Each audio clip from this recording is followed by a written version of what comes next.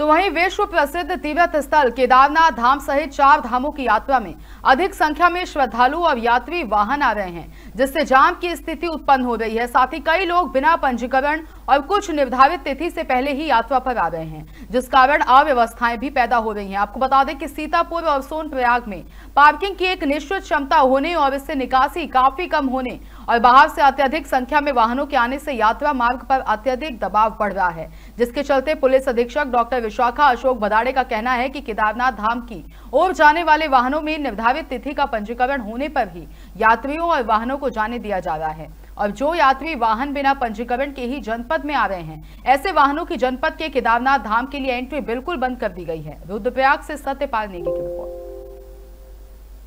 देखिए, केदारनाथ धाम की यात्रा जो है हमारी शुरू हो चुकी है और रोज़ जो है हमारे पास जो है बहुत सारे श्रद्धालु जो है दर्शन के लिए आ रहे हैं। इसमें हमने ये देखा कि काफ़ी सारे श्रद्धालु जो है बिना पंजीकरण किए यहाँ पे आए हैं। उन सभी श्रद्धालुओं को जो है यहाँ से वापस किया जा रहा है। हम मेरा सबसे अनुरोध रहेगा कि जो भी श्रद्धालु केदारनाथ धाम की यात्रा पे आए, वो अपना पंजीकरण अवश्य करें, तभी आपको धाम में जो है दर्शन करवाने के लिए